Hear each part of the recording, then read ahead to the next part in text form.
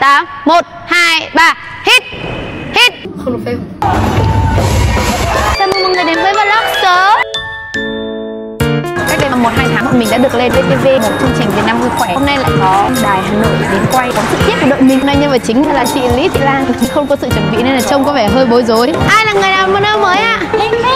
Để trông xinh em Cảm xúc khi đeo nơ mới ạ? Không biết nói gì hơn. Không thể hình thế nào để diễn cả cảm xúc Cảm xúc khi đến nơ mới Các bạn ơi, vào đi kìa. Ờ, ờ, ờ, Cái này xinh. Hôm nay có nơ mới.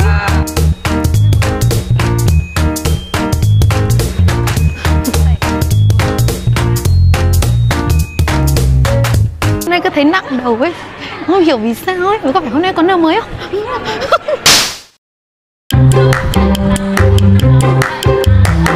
Lan đang quay phỏng vấn. Không biết đang nói gì. Tiếp luôn! Sau đây mình sẽ trưng giao diện của một chiếc đờ để lên trên sân khấu nhạc kịch. Trong cuộc vì đang mặc của Pinky Promising của Kim Việt Nam. Tác phẩm được sản xuất riêng của Vinachia và đôi giày. Tôi đang order. Hôm nay over sẽ không được fail.